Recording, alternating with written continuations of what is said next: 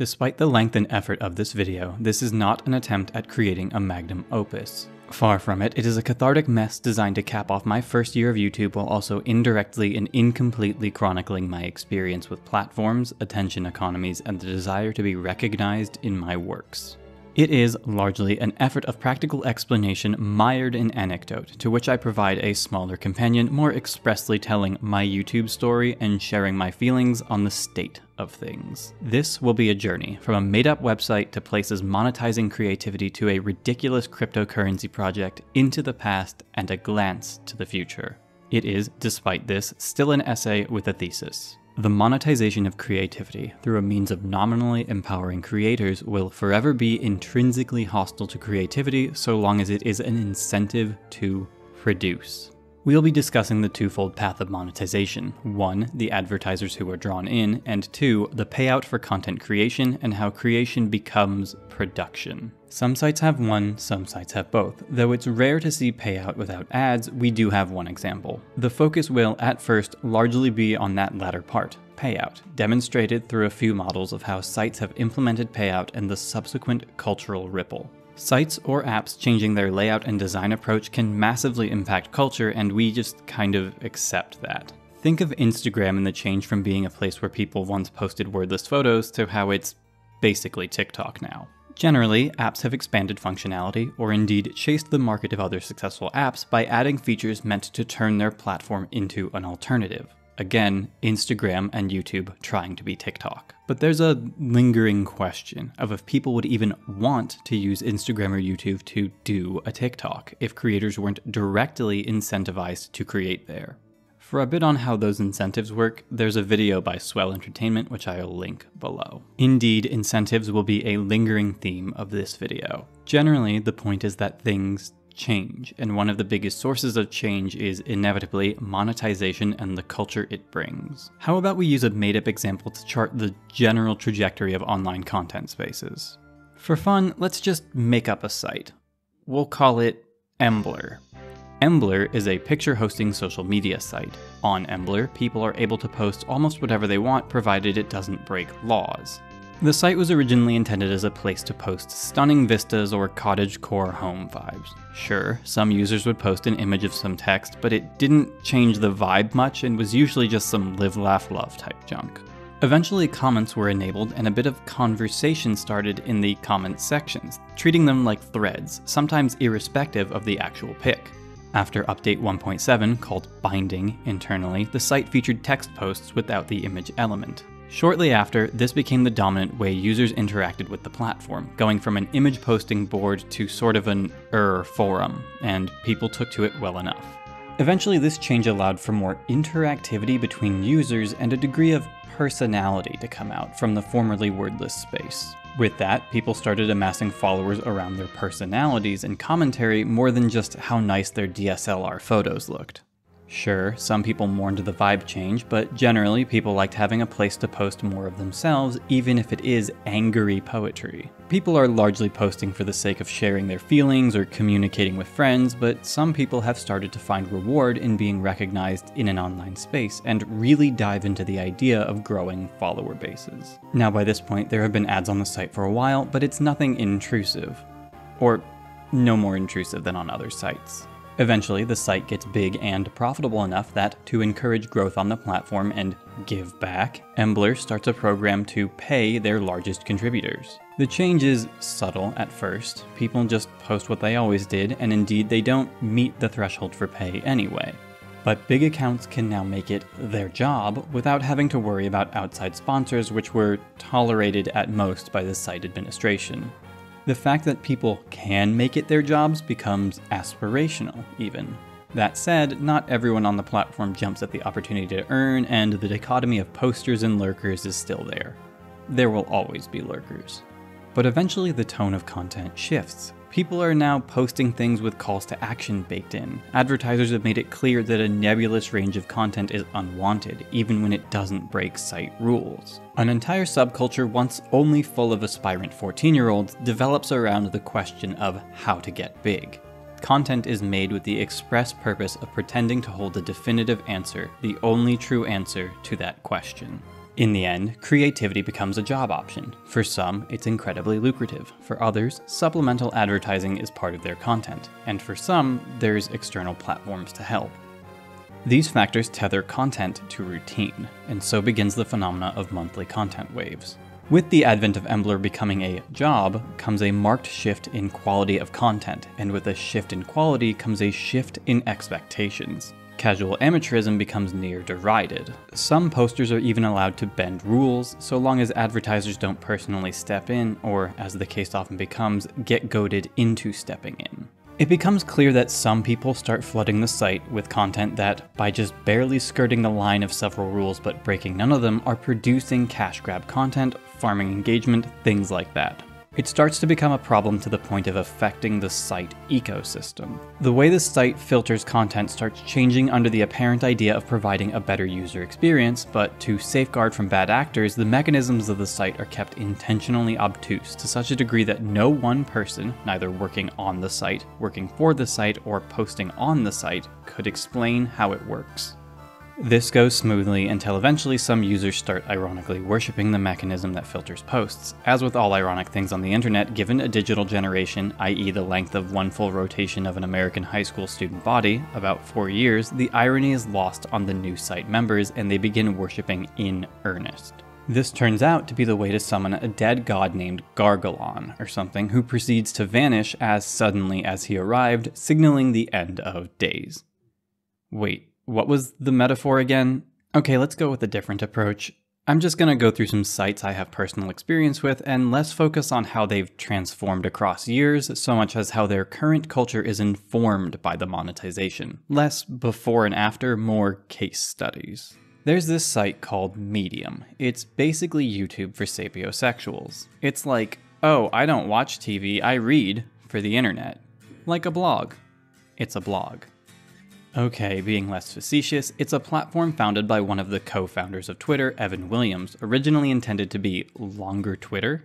I suppose at that time the name was conceived to be a declaration of post length. The design has since pivoted to Williams' other area of expertise, blogging. It's now a place for blogs and air quotes journalism without having to make a website or understand WordPress. It's a hosting platform. By the nature of how blogs have been monetized for almost their whole existence, it's a little hard to say whether the monetization of Medium is an innovation or tradition, really, but there's a bit of what I'd call hybridization going on. The appeal and how the site markets itself is as a place where one can earn from sharing their thoughts. This is how it's structured. Medium has a whole host of categories and a tag system for designating how articles get sorted by genre. So far, nothing special.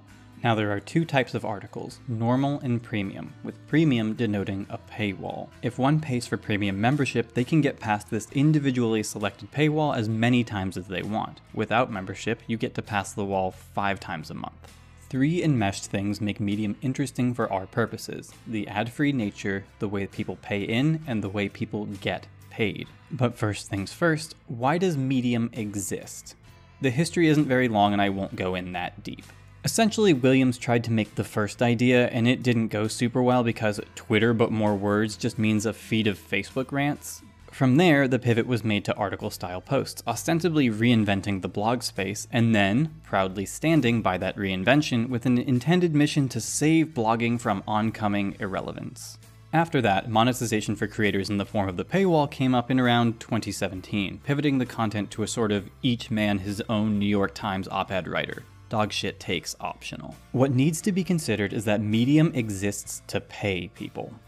Let me put it this way writers existed before Medium, YouTubers didn't exist before YouTube. Yes, people made videos prior to YouTube, but first and foremost, the point of YouTube originally was ease of hosting, which led to a new type of platform. In part, Medium has that angle too. It is a platform for articles. No need to learn how to use WordPress or make your own website. Speaking of making your own website, nobody sponsors me. But I bet you thought of someone because you're on YouTube and I said making your own website.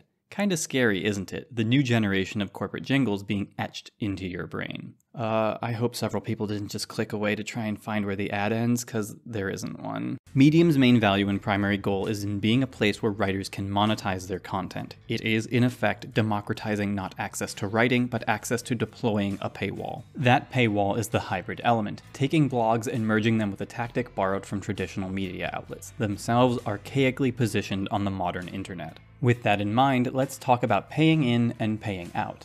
Hmm. Okay, well, the old link to how this payout works and the site premise is gone, and the new one just says a portion of your membership will directly support the writers and thinkers you read the most, with no elaboration. From my memory, this is how it worked, at least at some point. For a monthly or upfront fee, users get to circumvent the paywall. A portion of the money collected from said fee is put into a creator fund, kind of like how shorts work on YouTube, if you're familiar. Then, the pay is portioned out each month according to not views, not visits, but how many likes, called kudos, an article gets from paying members. In effect, this means that the free to read visitors using up one of their five freebies cannot contribute to payout in any manner beyond the psychological. The way it was explained, again to my memory, was that paying members were essentially assigning a portion of their pay in to an article for every kudos they gave it. It must be noted here that readers can give up to 50 kudos to a single article. There is no finite pool of kudos to give out in a month. They're not like casino chips with a static value. The worth of kudos is relative to the amount of them divvied out. This allows for some manner of granular satisfaction spending. In theory, if I have a membership and I give one article a single kudo and no other articles any, that article's writer will get my whole prize share. If I give one article 50 and another 50, they're both splitting it evenly. If I give 20 articles 50 kudos, the split is again even. My suspicion is that many Medium subscribers are Medium contributors. In one sense, this makes perfect sense. People who are on the platform will consume on platform. It's a generalized hobby space in the way YouTube is, but with a narrower reach. As such, the platform is inhabited proportionally by a larger host of consumers who are themselves creators. If my suspicion is right, it would go pretty far toward explaining the nature of content on the platform. A culture exists on the site of writing articles, of course behind the paywall, geared solely to be advice on how to make it on the platform. As we'll see later, this is not an uncommon dynamic. The more generalized content has its own similar vibe. In theory, the content of the site could have taken on any shape, but instead there's a looming productivity cult. It may be just my experience, subscribed as I was to the tags of writing and freelancing among the others that were non work interests, but the majority of articles put in front of me were paywalled guides to success. Going on the site incognito, the suggestions are still productivity geared. Here's another question when does one decide to put up the wall? When people have something important to say, there's arguments in either direction for if they ought to paywall it. Shouldn't people earn for their time and effort? Say my story about an important issue everyone should know about goes viral. Shouldn't I get something for my trouble? And besides, the paywall has five free uses a month, it's not really blocking anyone from seeing my critical information, right? There's a lot to be said, and indeed likely a lot of ink spilled, about the effect of digital journalism colliding with the need to keep the lights on or profit. For an example of this, I merely cite the way some articles with information pertinent to things like elections or the global pandemic were paywalled by big journalism sites. But is that not fair? Was creating the article not labor? How else do we cover the cost of producing the article, of doing the research, of hosting the information? Well, as some of you might already be aware, that argument has some holes, biggest of which being that running a for profit newspaper or even running one at loss is not always altruistic. Medium, at certain points, has paid famous people to post on their platform, behind the paywall, another tactic that will return. The core reason to be on Medium is that possible paywall, that angle of payout, and it's no more altruistic of Medium to create the opportunity than anything the gig economy promises. As far as the cultural impact goes, note that there is genuine content on Medium, but there's also the scars of incentivizing a particular culture, of clickbait headlines, of churning out content, of feigned empowerment. The paywall isn't a pay people what they're worth initiative, it's an earning scheme. But what if there was a much worse monetization scheme for writing articles? I mean, sure, it's a bit hard to imagine, but like, what if we combined two radically awful ideas, like say the unusable fandom wikis but for regular Wikipedia content and cryptocurrency Web 3.0 decentralization fantasies? Well, we don't need to imagine, because it was real and I was personally involved. I simply cannot begin to tell you how excited I am to have an excuse to share this story. Okay, so back in like 2017, I was working in a bar and a coworker of mine who was a relatively early adopter of cryptocurrency, he'd been at it for years, and again, this was 2017, told me about this new platform that was doing a writing contest with a cash payout. Kinda. The platform was planned to be and explained to me as decentralized Wikipedia, which we'll come back to shortly. The contest was to write the first wiki articles for the platform, and the top three articles got a prize, paid in Ethereum, a then mid-sized competitor to Bitcoin, but not as entrenched in the crypto space as it is now. For the curious, this isn't about to become a cryptocurrency rant, though I probably do have one in me. It is, however, important to understand the culture this site was designed in and around. I'm not going to go too deep into that here, and while I would suggest Dan Olson's line goes up to get a sense of it all, the video is hours long and you'd forget to come back here. Also, chances are you've already seen it. My friend was very in on the idea of the platform, called Lunyr, and planned to buy the token, which, mind you, is like buying stock in a company, particularly an initial public offering. Not like buying a digital currency in this case. He fully believed in this company and their plan. I was skeptical. But I mean, maybe there was something to it, so I sent something in and was part of the community for a little while. So what was the plan? Well, the short version is, as I said, a decentralized Wikipedia. But Wikipedia famously doesn't make money unless it's doing that fun little guilt trip donation drive at the top.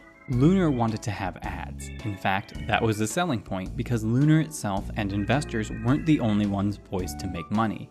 They wanted to offer an aggressive meritocratic earning opportunity with the platform. Articles would get ad revenue for clicks, and I know I've implied this already or outright said it, but these articles are meant to be Wikipedia style articles, not recipe blogs or news articles or whatever. But the idea is also to write an article that rakes in views. Hmm. So the goal becomes writing the best article, winning the marketplace of ideas, and getting the most views. There's a lot wrong with how this model shakes out, and I'm sure some of it feels immediately apparent. For one, topics. Writing the article on some obscure Irish poet from the 18th century might be a non-competitive space, but it's also not likely to get many clicks. The incentive to write about things that aren't already common knowledge isn't really there. And as for making sure articles are written well and not just made up unsourced nonsense, well, we'll get more to that later, but for now just know that there were intended to be self-deputized subject experts who vetted things. The incentive to write these things at all is dependent on pay. That's the short version. The monetary incentive made this immediately an untenable train wreck. And people, uh, didn't seem to get what the whole site was even meant to be. This really is at least half tangential, but it's too funny not to mention. Wiki style articles. That's the intent. Yeah. Easy to understand, even if the decentralized lingo flies over your head. Even if the connection to the blockchain stuff makes no sense, the Wikipedia part should still click. The submissions they got, however, and I know this from seeing what articles came up on day one, were more like bad medium posts. One I saw and distinctly remember was Why Do Women Date Jerks? which, after review, was requested to be reformatted to sound more like an academic article and renamed itself to The Jerk Boy Theory. Continuing that trend, lots of the content on the site was what you might expect from the culture of the crypto community even as far back as 2017. So while that one article was basically a retooled rant about how women only date assholes, it was hardly alone. There was another filled with pickup artist dating tips, and another one I saw was about female sexual hypergamy. Almost all the articles I saw there were either slightly veiled red pill interests or literally about the crypto community itself, like articles about Ethereum or coins or whatever. This is no longer tangential because it played a hefty part in the site's downfall as well. The site wanted to replace Wikipedia, and terrible business model aside, it presumed it could farm out all the content generation to users and that somehow this would produce a rounded and totalizing pool of information. Based on the incentives, on paper, they thought users would rush to stake writing the Winston Churchill article, and that presumably once the big known topics were covered, people would go for more obscure ones, trying to claim more and more real estate, so to speak. My clever idea in all this was that it would be very smart to twist articles one writes to always have an undue amount of hyperlinks to other articles you made. So, say you wrote the article on World War I, a huge topic. Not only would this be a popular search, but it would also provide branches to tons of other topics. So, what if you just also happen to corner all those topics too, rushing in to fill every possible hyperlink with an article that you made? That's going to shape content, and moderation was unlikely to target an article for including superfluous hyperlinks because, well, let's talk about moderation. Moderation was also expected to be farmed out, or more accurately, it was meant to be self evident, done by the community and in the community's own interests to moderate. Like some kind of hyper individualist community effort? I don't know. In truth, the whole thing feels like a case study in how ANCAP communities cannot function. In terms of moderating for quality, there was only one approach, and it had a simply massive blind spot. The quality of articles would be self correcting because the best articles would win in the marketplace of ideas and get the clicks they deserve. Okay, actually, there's like four blind spots there. Let's run through that one again. The quality of articles would be self correcting because the best articles would win in the marketplace of ideas and get the clicks they deserve. Okay, uh, problem one. I'm not on Wikipedia sorting articles by number of citations or how compelling the writing is. I'm there trying to learn what the fuck this band everyone keeps mentioning is all about.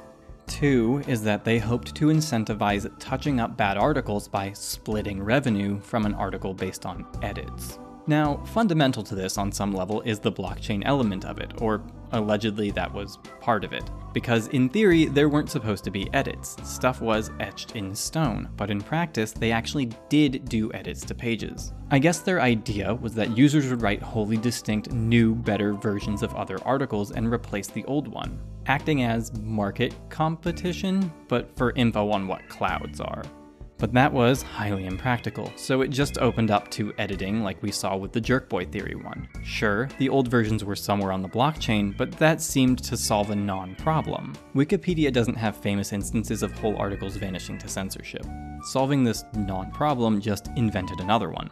Open season was declared on articles for producing needless edits and then having someone calculate shares of an article's ownership. If I write the Winston Churchill article and it looks like this, and someone comes by and adds to it making it look like this, do I still get a share? Keen-eyed viewers might notice that I've literally copy-pasted Wikipedia here, and no, that wasn't just to avoid writing a whole fake Winston Churchill article, it's because this was another literal problem of the site. 3. People were copy pasting things from Wikipedia. The site's runners said they didn't like this very much because they had to pretend to be better than Wikipedia, so obviously they would curate only the most smart boy, powerful, intellectual, and thorough user base. This meant that, far less than the charge of plagiarism, the concern was that Lunyr's information ought to be different somehow.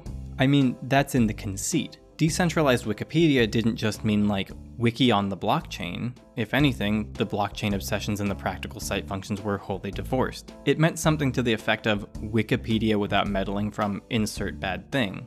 I'd call this Wikipedia for paranoid libertarians, but Jimmy Wales, the founder of Wikipedia, is already a self professed libertarian, so I don't think there was some fear of his secret totalizing control or political bias as a motivator for founding Lunyr as a competitor. Now, sidestepping the myriad of problems that presents in terms of authorial intent and historical accuracy and biases and all that, it's still a fundamentally absurd issue to have. They presumed their user base would act in good faith, which you should never do on the internet. They presumed that users would prioritize the viability of the site and incredibly long term vision, a deeply long term investment, instead of embracing the core tenet of crypto fast money. The site runners were so blind to this reality of their user base that they were genuinely mad that the quality of articles was as shamelessly low as it was. Eventually, once the Wikipedia copy paste issue was handled by being made against the rules, people started just doing that with articles not in English because literally no one on the skeleton crew staff of three dudes living in LA knew another language. All of this may have you wondering okay, but what were the actual mechanisms of content review? What does leaving it to the people slash market mean? The way things passed inspection was that someone just looked at it, verified it, and got a cut of the future proceeds of an article for being its quality reviewer. Now, uh, the level of faith in the community on display here makes the communism only works in an ideal world thing, right wingers say, look like the utmost projection. The creators of the site left moderation to the community with a monetary incentive for sheer volume of articles okayed, somehow presuming that people would take the task seriously instead of, at best, clearing articles for the sake of getting in on an easy revenue stream, or at worst and most easily manipulable, forming offsite groups that would circularly approve each other's stuff no matter how dogshit it is. And so we circle back to language. 4.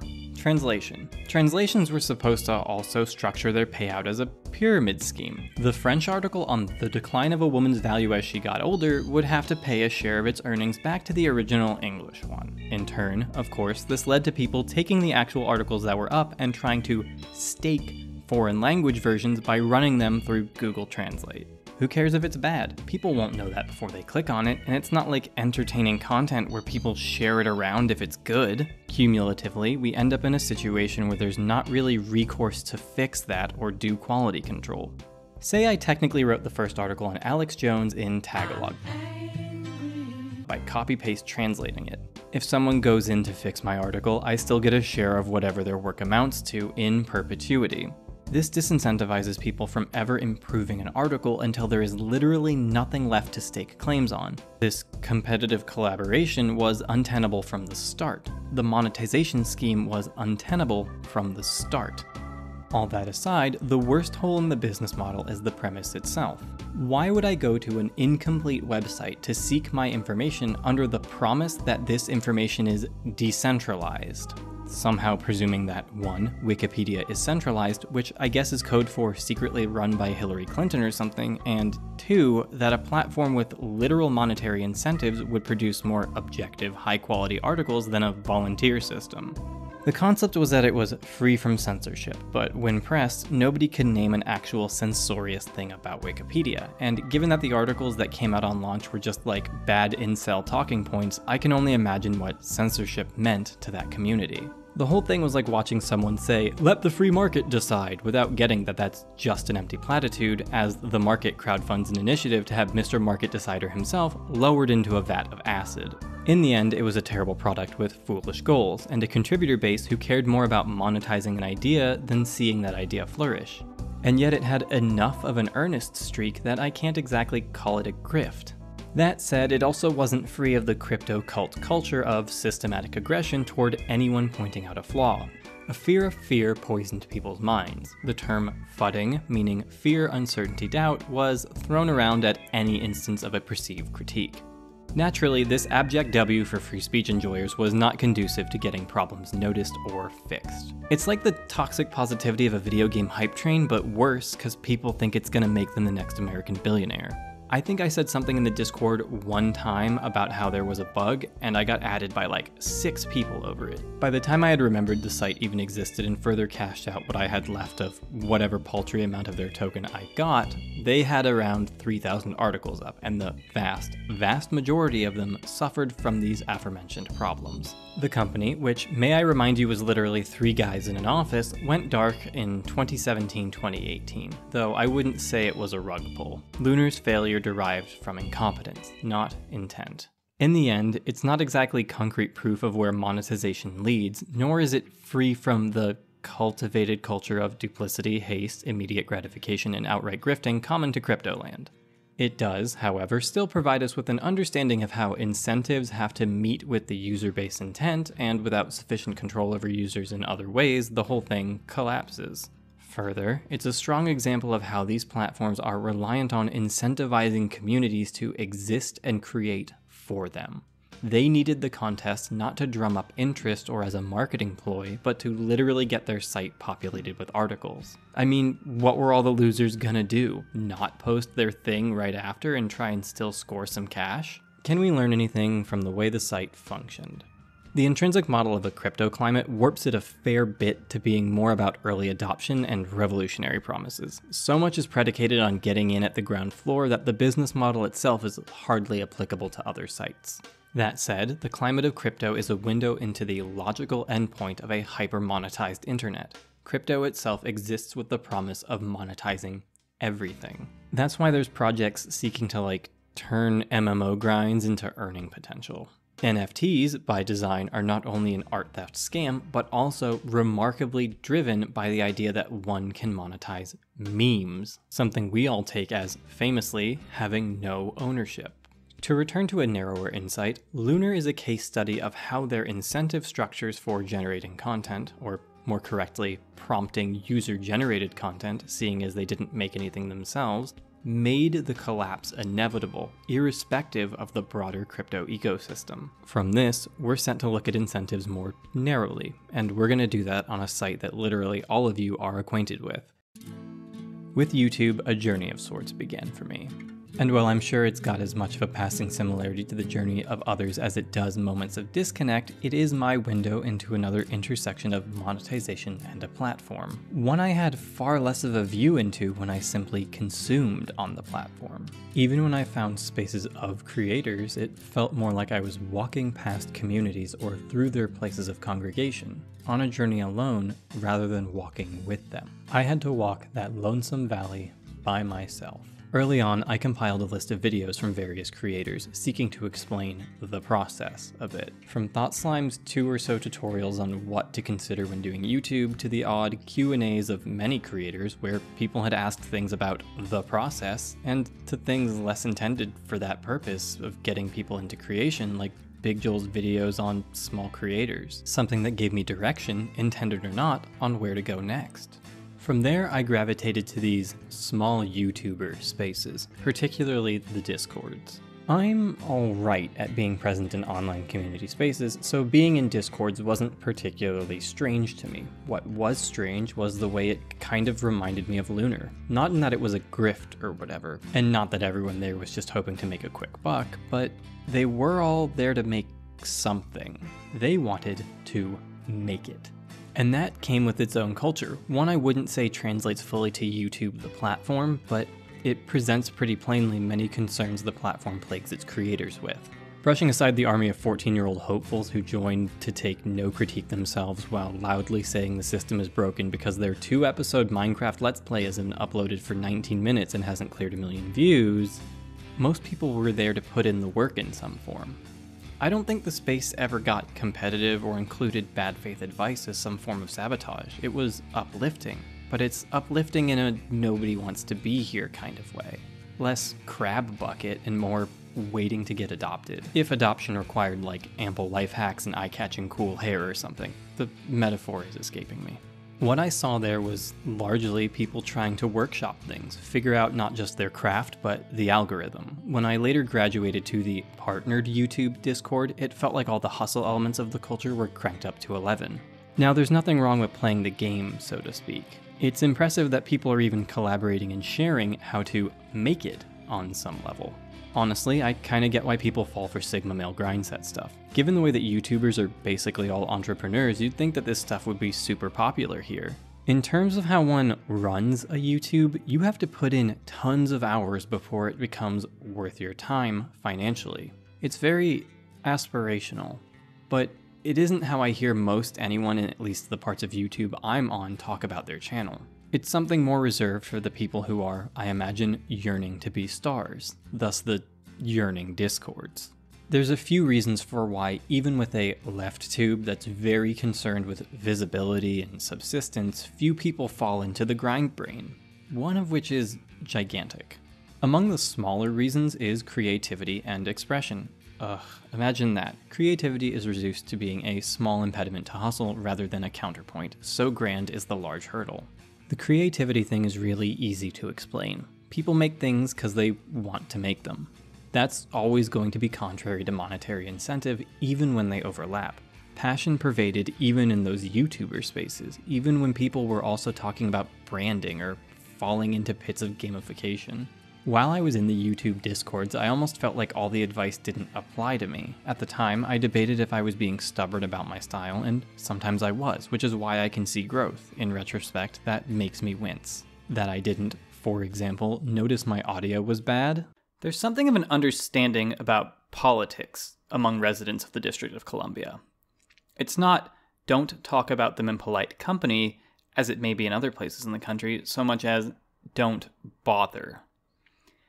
But when I look back at the space, I feel like it genuinely was ill fitting advice for the side of YouTube I wanted to end up on.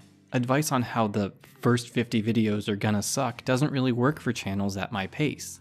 Advice about uploading every four days at the exact same time doesn't suit longer form content. People still had outlets for creativity, sure, but the grind took precedence. The goals were always reaching numbers, not people. As a brief aside, I don't mean to sound dismissive necessarily. Maybe there's some stuff in there we could all do to learn. Sometimes I worry we might over presume our own suppression and just stop trying to play the game even a little. Sometimes I worry there are ways we are out of touch, and perhaps I should only speak for myself here, but sometimes I worry that we value integrity more than the platform allows and aren't pragmatic with our concessions in order to reach goals. But this video can't be all worry. Another thing those YouTuber spaces operated on, besides grind and an individualist community was some measure of mysticism. These spaces act as, whether they know it or not, cults of appeasement, and their gospel transcends them to the whole of the site.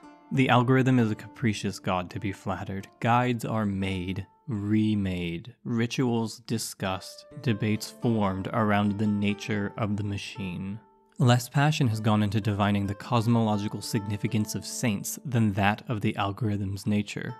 The algorithm is kept obtuse by YouTube as a matter of practice. It is in their interest to avoid the very gaming most people implicitly seek.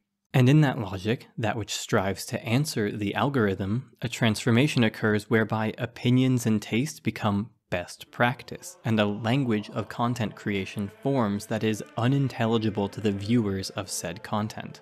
Said language is expressed in objective quality notes for thumbnails.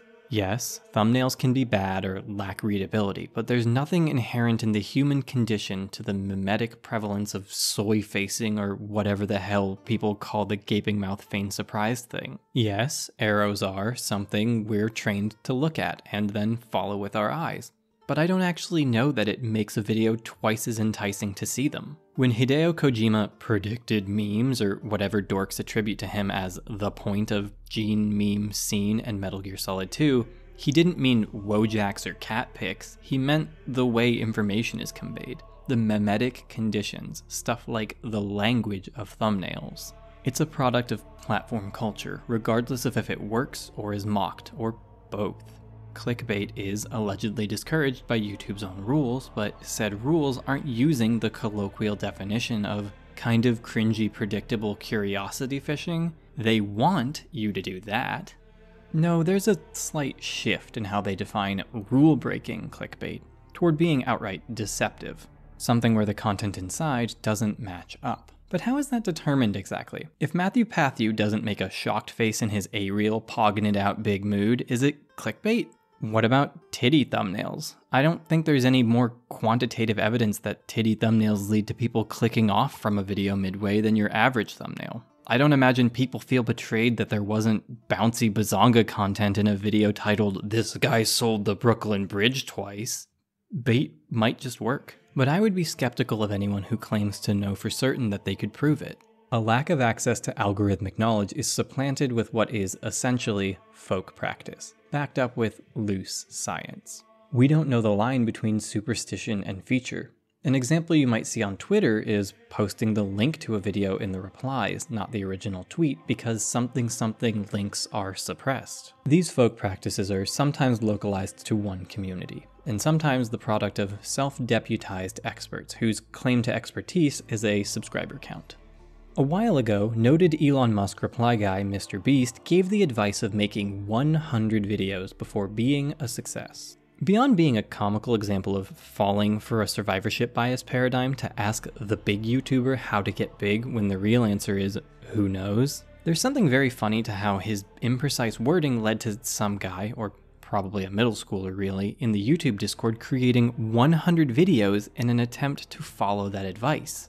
The kicker here is that many of the people a step down in the qualified to give advice sphere are falling for that same bias. Where Mr. Beast himself is just presuming he skilled his way to the top, the people looking to him as a case study have a different blindness. The beast observers, as I'll call them, look at large channels, huge ones, and analyze relative success compared to each other as though that data is unquestionably transferable. This thumbnail with the pog face got a million more views than that video doing, uh, uh, the Home Alone face, so better keep poggin. This title doesn't have nouns and it did better, so we can see that nouns are out. These methods of analysis are woefully incurious, focusing on current success patterns rather than the rise to that level. They make economists look like what economists think they are. These analyses, from looking at huge channels to understand success, presume and ignore too much to be objective. They presume an objective path at all. First and foremost on my list of massive blind spots is the unquestioned assumption in this analysis that from subscriber 1 to subscriber 1 million, the journey has the same rules, barring an exception we'll get to. In presenting the data, how they often do, there's a presumption that MrBeast is earning the attention of 111 million views from scratch each time that any and everyone could be enticed by the ultimate juicy thumbnail. There is, at once, an urge to understand YouTube as a predictable machine, despite YouTube having a vested interest in that not being the case, and an urge to pretend everyone can make it with the right tactics. And while not as stark a zero sum game as crypto, that cannot be true. Not only because creativity and ideas will always retain a portion of value, but also because time, even shared across 2.1 billion people, is finite the attention economy is very real. And that's saying nothing about taste or preference or language. It's like pyramid scheme exponential growth presumptions all over again. There is no way to entice the whole of the platform. Not every single person is a potential subscriber. Now, that's not to disparage the actual success of these deputies. Some of their efforts may have been naive, but their results were very real. Subscriber count in at least the tens of thousands. But the individual practices and beliefs were not what caught my attention the most in the end. The striking part, the thing that formed the Lonesome Valley for me, was that these were communities built around wanting to exit said community. It was a space designed where everyone in it wanted to leave as soon as they could, seeking self reliance and independence, to have their own communities later. It's another communal space with individualist aims. Sure, people could network, but I don't know how much of that actually happened. One channel I discovered from the starter space is Shea's Violin, who I'm shoehorning in here with the hopes some of you will check out her channel. Supporting others, community is something YouTube does the least to encourage. It's something we fail to encourage half the time, even though it's important and effective. That's, I suspect, an implicit element of collaboration in the space that people collaborate in order to have an excuse to share each other. I don't know if that marks me as paranoid or if I'm right, but I really do get the sense that there's some part of it all that's about having an excuse to mention another creator, not as payment for the service of working together, but to work together as a justification for citation, for name dropping, for vouching. Building each other up is the main tool we have to weaken the hold the algorithm has. In fact, there's also a small collective trying to kill God right now called F the Algorithm. Now you may ask yourself if it's relevant that I may have been featured on FTA as their monthly nepotism pick once. Well, really, and I do mean this, the reason I bring them up is to point at how there is concrete organization to circumvent the algorithm through community support, rather than bow to it and be subsumed by its vagaries or sliding back into a forced sense of individualism, back into the Lonesome Valley. The reason I bring up these YouTuber spaces and their counterpoint in F the algorithm, despite not being platforms themselves, is that they demonstrate how YouTube's monetization culture ripples out how it affects people even at the most entry of levels, creates languages of creativity, or more so, production. The creativity itself is a casualty of trying to be picked up. Uniformity begets best practice. Best practice begets uniformity. So unto us all. In the language of YouTube, an objectively good thumbnail can exist. objectively good practices exist. Hell, while making this video, I legitimately debated excising the entire Lunyr section so I could market it as its own standalone video, one that could more easily be attached to discussions of crypto cringe, more easily offered as some manner of companion piece till line goes up. Alternative to making it a punchy standalone bit, I would feel disingenuous making it the center feature of the title or thumbnail for this video. In turn, people won't know to come to this video for a juicy crypto L. I've had to, in that, consider the integrity of making an exploration of monetization culture in one succinct video, or tearing out a chunk to use as bait on its own. That itself is the impact of monetization culture.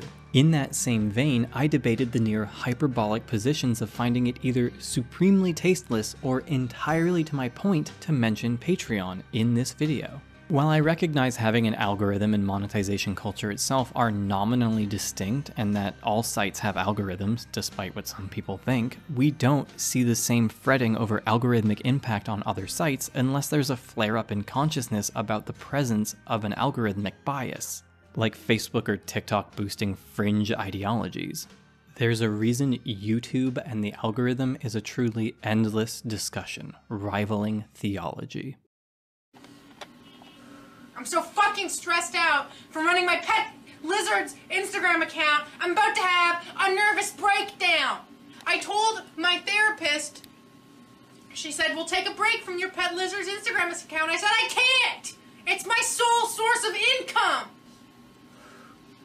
When I started doing YouTube a year ago, I didn't really have a sense of how to compare my experience to others, to get my bearings on when I was doing something right or wrong, to find feedback.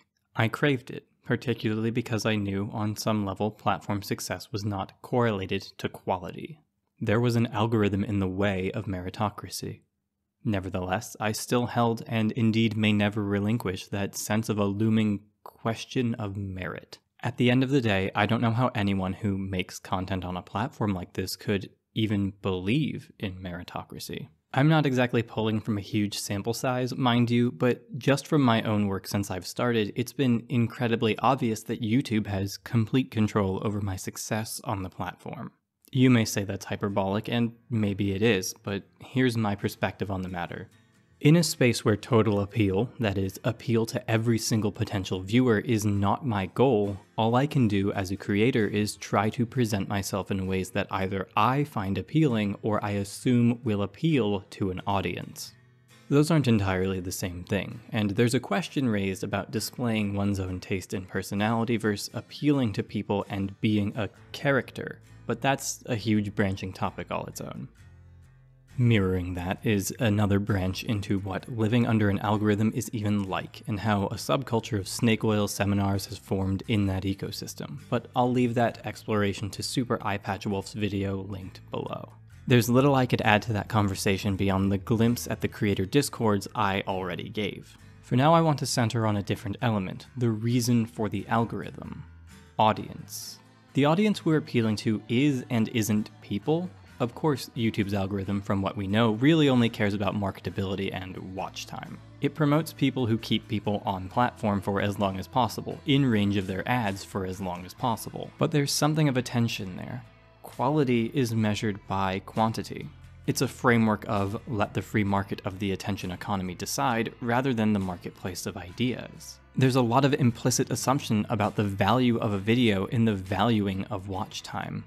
While it would be easy, nay, expected for me to say this is all bad, this is ultimately the quirk that has led to the relative success of the video essay genre in a world of ticks and talks. And credit where it's due, the reason I keep to this medium, both in terms of consumption and production, are because it is the best way to find and be part of thoughtful, topical, and radical conversations. Imagine telling literally anyone in the year 2000 that there would be a video hosting site where people make a living not just giving quirky, skit laden rants about popular thing, but in depth analysis of the global economic conditions. Imagine telling someone that in even early YouTube days, you'd sound more out of touch than early Lunyr adopters, except for the whole part about being wrong. But remember, just as quality is measured by quantity here, viability is measured by someone, or something that doesn't even watch the videos. James Stephanie Sterling of the Jimquisition has, I, I promise I'm going somewhere with this, in the past raised the point that game players are not consumers so much as cattle when it comes to how very large publishers work their business models. The customers are shareholders, who are in turn catered to with large presentations not showcasing new and exciting games, but revenue streams and monetization models. That's why, despite being remarkably unpopular, something very few people really wanted in the games they played, NFTs sort of manifested in a manufactured consent kind of way and were just offered as inevitable, exciting upcoming features with the guise that players had demanded them. It was a new revenue stream, and indeed had been demanded by customers, but those customers weren't the players. And so onto YouTube and platforms like it. Advertisers are the customers buying ad space. Creators aren't creating content as far as YouTube cares, they're creating ad space. Content consumers, in turn, are less customers to be appealed to as they are the responsibility of a creator to cultivate. I am but a free range cow growing its own grass. There's not even an effective illusion of hierarchy here. And mind you, YouTube doesn't pay creators, technically. Let's compare this model to two typical service style jobs in the US. A cafe job works like this. A worker puts together X drinks an hour, each worth some small cost in materials, and sells them. Profit for the business comes from the difference between the income, represented by how much the drink sells for, and expense in the form of materials and labor costs. Basic stuff. A bartender is the same thing, except we have to change the model for expense. There's no labor cost. In a sense, because the bartender earns from the goodwill of patrons through tips alone, as a worker, they are, from a twisted perspective, renting the bar and its stock from the owner in order to put on a show of work. The cost of doing their work is simply everything they made from drinks. They may not bring their own tools. YouTube is somewhere between this. It both seeks the charity of patrons and gives a cut of the ads. We effectively rent the platform by paying half our earnings. In that way, pay is based on performance without pretending to be a commission model. You're paid what you earn, in that you are not paid if you earn them nothing. But at least you owe no rent for the space. Now imagine if a bartender's boss, instead of just scheduling for good or bad shifts, had a lever they could pull to invite people to the bar and more or less invent a good slash busy night whenever. Now imagine the bartender never knows when it's gonna happen, if ever, and granted, no promises are made, but there's always the idea. Instead of the normal system of taking a slow Tuesday to earn a Good Friday, we are constantly working Sunday, with no idea if the crowd is coming. And it doesn't seem to be based on quality of work, expediency, contentedness of guests, just quantity of drinks drunk. But there's hints everywhere that maybe the lever gets pulled based on what outfit the bartender wears and what drinks they've got listed on their sandwich board outside. More than anything, there's a pervading mood that the boss might hate your music taste and just hasn't told you yet, even though you still use the default bar playlist and radio safe edits. That's YouTube. To anyone who's spent more than one angry headline pondering what censorship truly is in the corporate age, it is no surprise that the dictates of content are not the First Amendment or cancel culture or anything Beanie Boy would decry, they're corporations. I almost want to go on a whole tangent about the massive sides of the human experience that are left out of discussion on platforms because of this angle, but I don't want to risk demonetizing this video that's already approaching an untenable length. For just a singular example, look at what creators like Evie Lupine have to go through to talk about their content. The hoops being jumped through and the eternal feeling of being unsafe from it all suddenly vanishing. Of getting hit by the ban bat that's so inconsistent and malleable it might as well be a pool noodle. Much, very much has been said on this topic before. It exemplifies the negative current, an impact of monetization culture just as much as bait content, just as much as mimetic language. The key takeaway from a space like YouTube is that its monetization, the way it has the potential to be a job, has shifted the incentives for making content. To corporate YouTube, the idea would be that nobody even looks at or thinks about their analytics, just just create some things, make stuff, fill the space. That's their idea. We shouldn't ever think of the fact the algorithm is there, just let it do its magic. Instead, they've created a space where entire channels find success in trying to talk people through navigating the algorithm. There's a paradox to those channels too, which I only note here because I love a good paradox. Say my channel is expressly dedicated to teaching people about the algorithm. Subscribe for more hot tips like these okay, now the audience is going to be YouTube hopefuls. But how does one get that ball rolling? Who would listen to some guy claiming to have cracked the code on the algorithm who himself only has like 300 subscribers, you know? They don't make content that looks remotely similar to what any aspirants come to them for. They aren't like you or any of the hopefuls. Using themselves as an example of what to do is absurd because their audience is remarkably desperate by design. I don't say this to knock them, but to simply call attention to the way authority for these claims works. I watched a few hours of content from these kinds of channels to shore up my thoughts for this section, and it wasn't very worth it, at least for the sake of this video's content. In terms of the advice they had, I learned what I have always known, which is that YouTube is unsuited for rapid pivots, as I appear to do on my channel, and that YouTube deeply prioritizes growing within niches over reaching into many niches. Which makes sense. The reason larger channels, even in LeftTube land, can do pivots is because, with their personality in effect becoming their own niche, they are effectively too big to fail. By every tip and bit of advice they give, hbomberguy should be an abject failure channel, and yet he's managed to crack the code in an entirely different direction. It's the kind of thing they, in salvaging authority, would incredulously laugh off as, it shouldn't work, but it does, like a poker player who failed to call a bluff.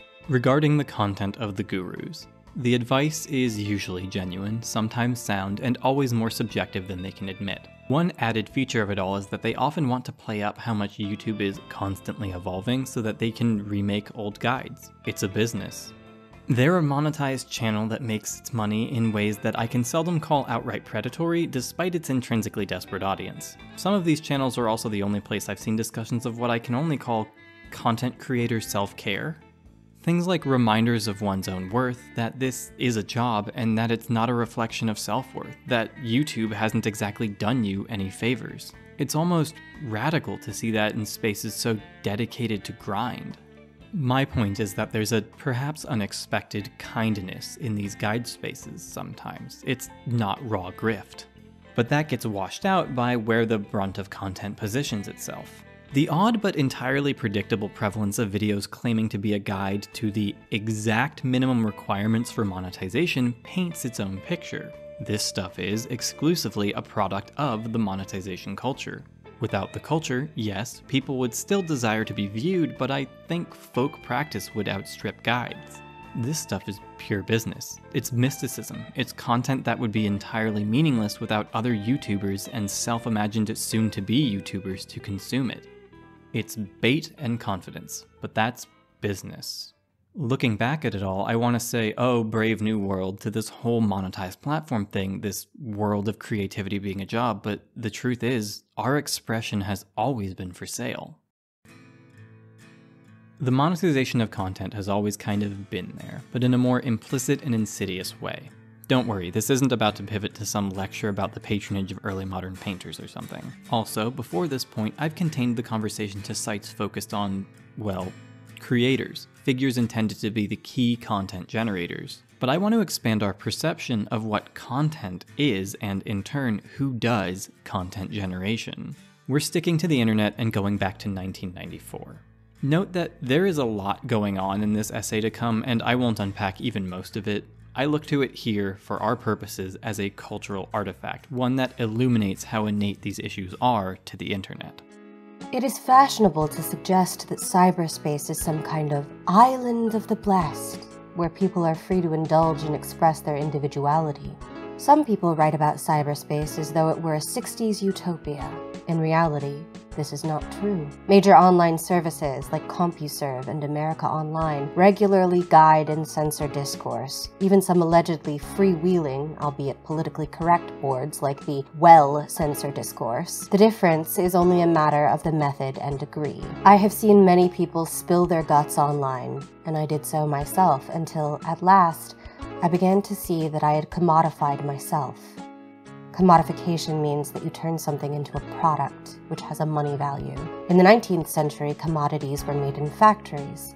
Which Karl Marx called the means of production. Capitalists were people who owned the means of production, and the commodities were made by workers, who were mostly exploited. I created my interior thoughts as a means of production for the corporation that owned the board I was posting to, and that commodity was being sold to other commodity consumer entities as entertainment. That means I sold my soul like a tennis shoe, and I derived no profit from the sale of my soul.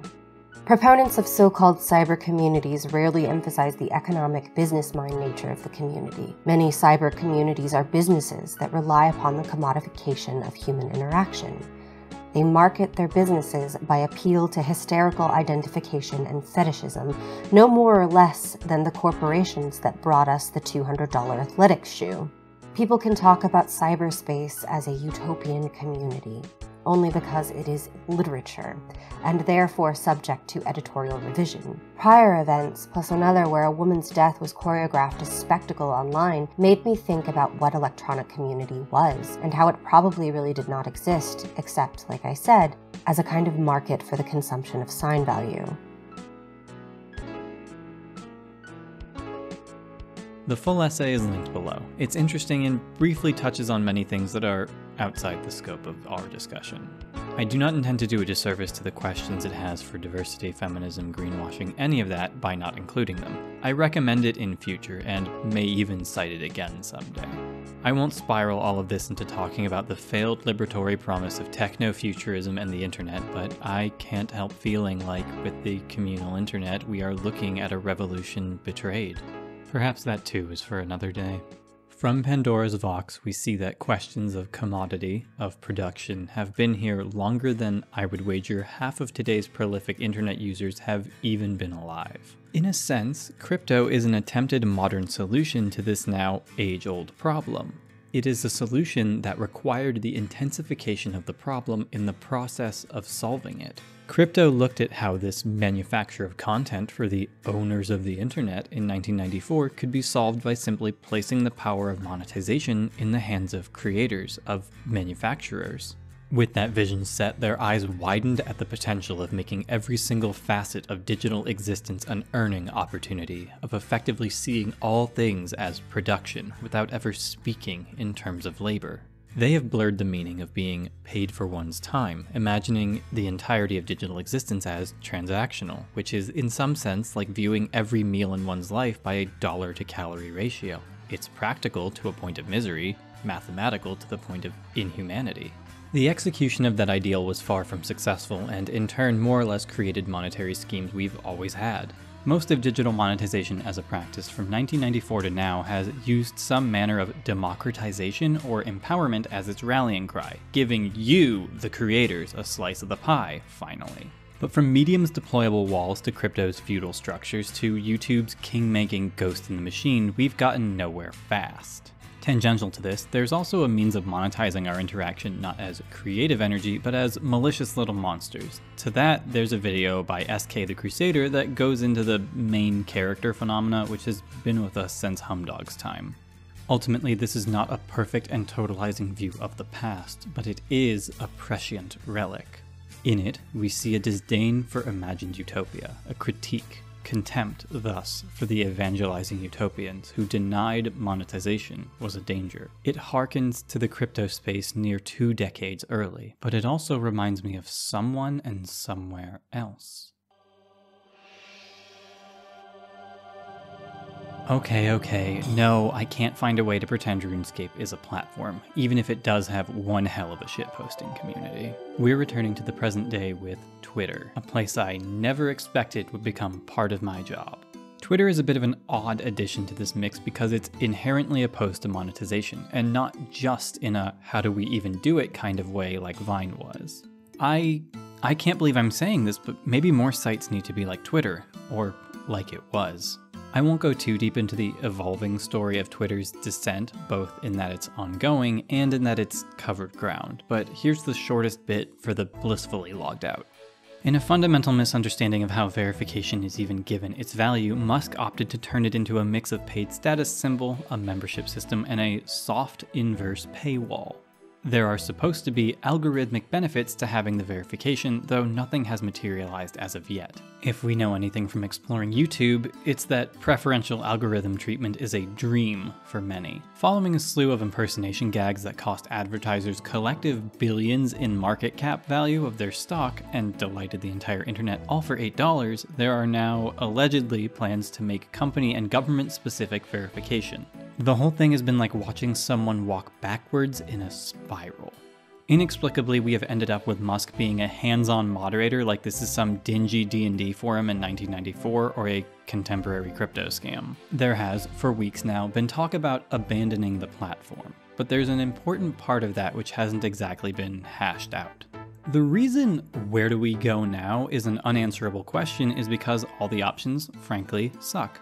Those of us on Twitter know we are on an imperfect platform, and all the other ones are no better. People talking about Hive bring up that it's owned by an ableist and a Trump supporter, as though that isn't the case with four fifths of the venture capital funded tech landscape. Like, seriously, good luck finding a site that isn't owned by an ethically compromised billionaire. My personal solution is that we all just colonize academia.edu and set up accounts, shitposting in faux essay or critical response format.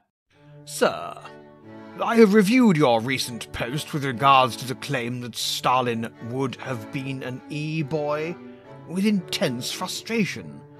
It is clear to me you lack either the seriousness or the vigor to make it in this discipline. Clearly Bukharin was the one with e-boy energy. Now, realistically, Twitter is no stranger to jokes and hyperbole about leaving the hell site forever, but I want to, for a moment, take quick stock of what stands to be lost with Twitter because I think it's dawning on people that this sucks for a reason. Twitter has been very helpful and effective for activists and outreach programs. Much has been said about the efficacy of organization and dissemination of information during the Floyd protests. For an even older example, think of the role social media took in the Arab Spring. You may likely know more about the presence Twitter had in that historical moment than the current state of a single country for whom it was historical. But those things are practical. They're important, but not the focus of this discussion. I won't go into every detail of Twitter's culture, as shitposting is more universal than the site, but I will explain what features I think make it both a useful tool, a place of communities, and in some ways resistant to advertisers and, until now, cataclysmic levels of monetization. Twitter's features allow for relatively easy circulation of content, but also curation of one's own feed. Where places like TikTok just blast you with the next thing in a row and it can be Russian roulette for transphobia, Twitter is more about following people than implicit ideas. There is an algorithm, to be sure, but ad spaces are noted when they're present, and other than the occasional slot dedicated to outright promotion or based on your likes content, most of the momentum behind discovery is social networking. Corporations know this, which is why there's the existence of brand Twitter and brands trying to go viral. Likes and retweets come from individuals, and while you can't exactly predict the extent of what a mutual might like, which could mean getting smacked in the face with erotic Zootopia art, for the most part it's a curated experience. The other end of this curation is that muting and blocking accounts is easy and effective. You can block advertisers, no questions asked. It's so mundane a significant feature, I'm going to repeat it for emphasis. You can block advertisers. That may sound like it would cost Twitter a lot of potential clients, but think of it as the obverse of self selection. Advertisers want their products shown to people who are interested, and if people who expressly aren't block them, that's not a wasted impression. Some people like to brag about how deranged their ads get because of their expert curation. Ads themselves are not rampant, which makes me wonder if Musk's claim that Twitter Blue will give you half the ads is either true and meaningless, or they're going to also crank the ad dial, if there's anyone left who wants to advertise. Either way, it is very funny to see a paid premium service that doesn't even offer an ad free experience. And again, we've had the means to block ads we didn't like, which could be cathartic. Ads aren't the nuisance of Twitter bots are, but bots are blocked just as easy and only really swarm to viral posts or ones that mention keywords. I took a video of finding an ad, blocking it, and then scrolling until I found another one and gave up after 2.5 minutes because I was tired of speed scrolling. Note that this isn't emptier than pre Musk. The only difference is that half the ads now are some Saudi image laundering program. Interesting to note here is that Musk's paid verification system conflicts directly with this block whoever system. With this system of negative curation, the incentive to actually be boosted isn't all that strong when you anticipate selective blocks. Verified status won't evade blocking. And in turn, as intimated when I said this became a new badge of shame to wear, people have already figured out that best practice will be to auto-block anyone that has paid verification, at once getting rid of the clowns willing to shell out and nullifying the signal boost they paid for. This altogether is the impact of monetization, even in the negative, in resistance. Twitter is resistant to monetization because it gives the users some tools of curation. Even without those tools, Twitter doesn't have the same capacity towards monetization as something like YouTube. Musk bizarrely said in one tweet that he planned to turn Twitter into a YouTube competitor, saying it would be partly financed by the verified. This would ostensibly adopt a somehow worse form of what Medium does with its content with a vastly more significant data footprint. He wanted to offer room for posting 40 minute videos at 1080p.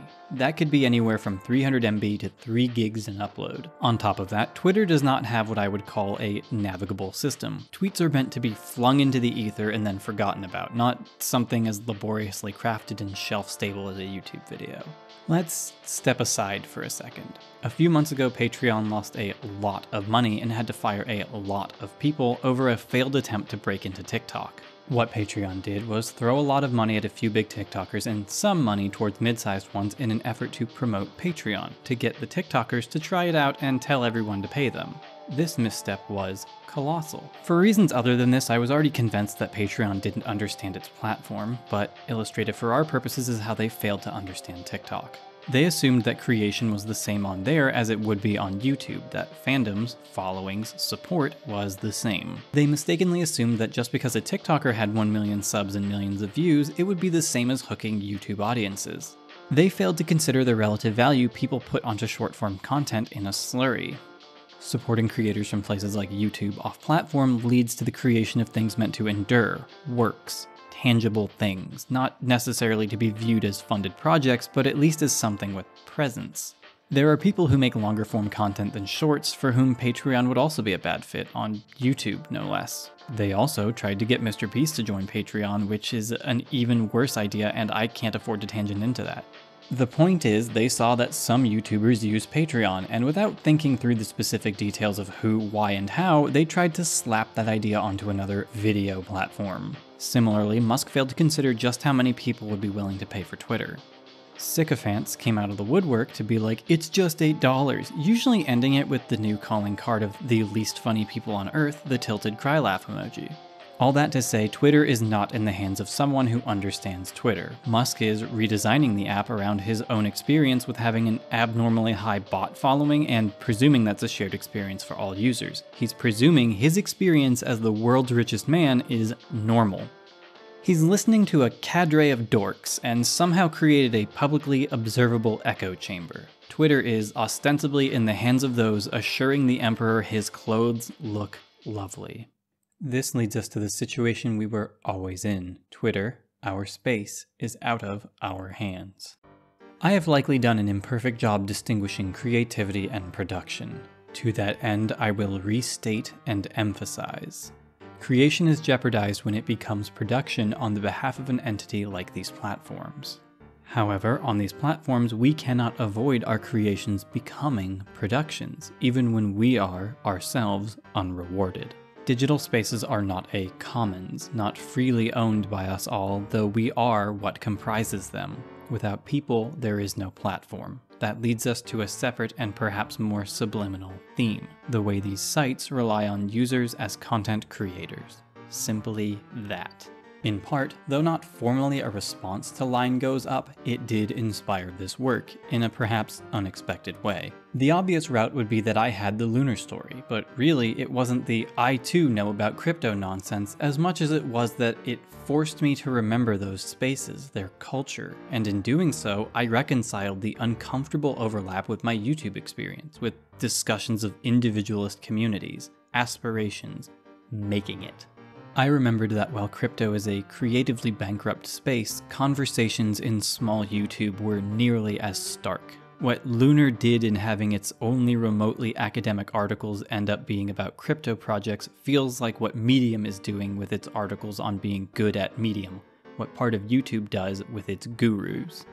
There's a value to understanding how cultures shift with monetization, and how incentives are formed, and how those incentives shape what gets produced. But the biggest unifier here is that we don't congregate on these sites because they, the site, provide us with content. We congregate to witness and experience other people.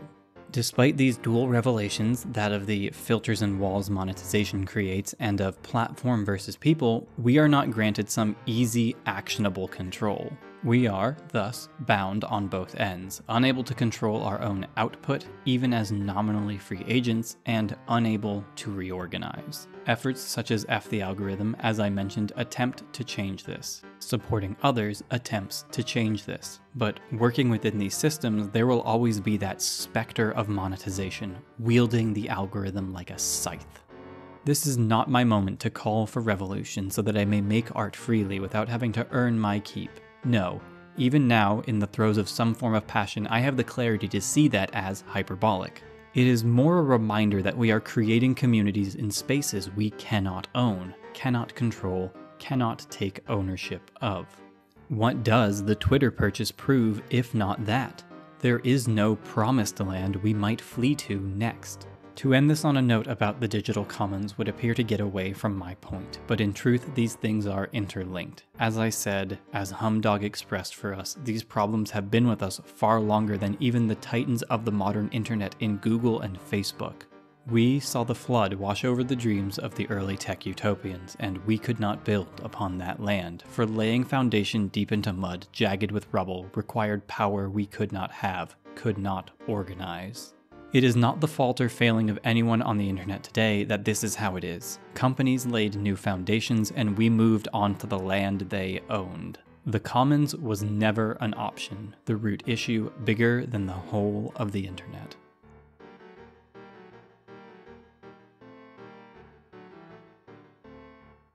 Originally, I intended to just cut this video off, full stop. I wanted to end on a note of dramatic impact, but I don't think it matters that much. People click off when they do, and being overly wrought in drama in the last 10 seconds isn't what makes a video do well. I'm very, very brain poisoned right now about algorithms and success, and caught in that mixed web of like wanting things to do well, naturally, and worrying I'm losing sight of the distinction between reaching people and reaching numbers. As I said at the start, this video has, or will have, depending on schedule, a companion video that's fully anecdotal and just exploring the last year. It'll probably also be melodramatic or sappy.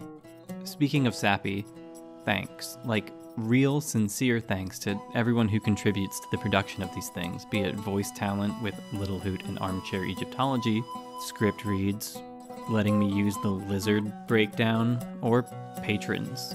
That's not to say or imply prior thanks were insincere, but I guess making this one has made me hyper aware of support. Voiced credits thanks this time goes to Chandler Mason, Etienne Garant, Freddie, Housum, Nick, and Knight Swigron. There's a few new names here, and sorry if you came for Map Game and got smacked with this. There will be Map Game again soon, after the video in early January where I'm remaking my first one. That one doesn't really have a negotiable schedule spot if it's an anniversary.